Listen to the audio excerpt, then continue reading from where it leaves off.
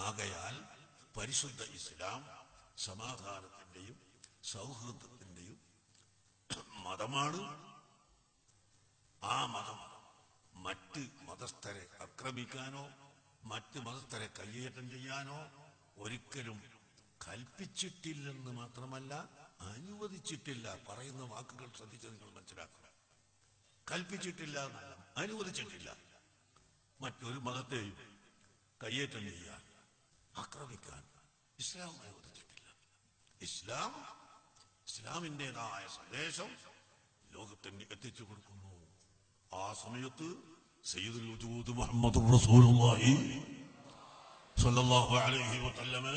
തങ്ങളുടെ മുഅ്ജിസത്ത് ധാരാളം മുഅ്ജിസത്തുകൾ ആ മൊഴിജിതത്ത് കൊണ്ട് അതാ ജനങ്ങൾ വിശ്വസിക്കുന്നു.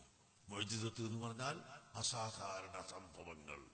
അത് പറയാൽ جاءت لدعوته الأشجار ساجدة تمشي إليه على ساق بلا قدم നബി സല്ലല്ലാഹു അലൈഹി വസല്ലം നടന്നു പോകുന്ന സമയത്ത് വൃക്ഷങ്ങൾ അവിടത്തേക്ക് അടുത്തു വരികയാണ് അടുത്തു വന്നിട്ട് ഒരു അമുസ്ലിമിന് സാക്ഷിയായി നബി തങ്ങൾക്ക് സാക്ഷിയായി അമുസ്ലിമിന്റെ മുമ്പിൽ നിന്നു കൊടുക്കുന്നു എന്നിട്ട് അഷ്ഹദു അല്ലാ ഇലാഹ ഇല്ലല്ലാഹ് അഷ്ഹദു അന്ന മുഹമ്മദ് എന്ന് ഉച്ചത്തിൽ ഈ വൃക്ഷം ഷഹാദത്ത് കലിമ ചൊല്ലുന്നു. അങ്ങനെ സംഭവം ഉണ്ടായില്ലേ കാള പശു. ഇന്ന് പശു ഒരു ചർച്ചാ വിഷയമാണല്ലോ.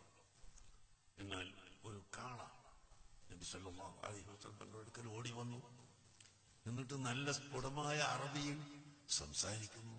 സുബ്ഹാനല്ലാ ബഖറത്തുൻ തതകല്ലം എന്ന് സുഹാബികൾ പറഞ്ഞു. കാള സംസാരിക്കുന്നുവല്ലോ എന്ന് എന്താണ് കാള പറയുന്നത് പ്രിയപ്പെട്ട എന്റെ യജമാനൻ എന്റെ പുറത്ത് ചരക്കുകൾ കെട്ടിവെച്ച് ധാരാളം കെട്ടിവെച്ച് വരുന്നു ഘനം വർദ്ധിച്ചത് കൊണ്ട് എനിക്ക് നടക്കാൻ കഴിയുന്നില്ല.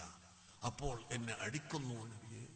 ഇതിനൊരു പരിഹാരമുണ്ടാക്കി തരണമെന്ന് ഒരു കാളമെന്ന് പറയുമ്പോൾ ഖിയാമത്തുനാൾ വരെയുള്ള മുഴുവൻ കാളുകൾക്കും മുഴുവൻ പശുക്കൾക്കും ഗുണകരമായ നിർദ്ദേശം ലോകത്തിന്റെ നേതാവ് മുഹമ്മദ് റസൂലുള്ളാഹി സല്ലല്ലാഹു അലൈഹി വസല്ലം തങ്ങൾ പറഞ്ഞു കൊടുത്തു. പ്രിയപ്പെട്ട സുഹൃത്തുക്കൾ മനസ്സിലാക്കണം.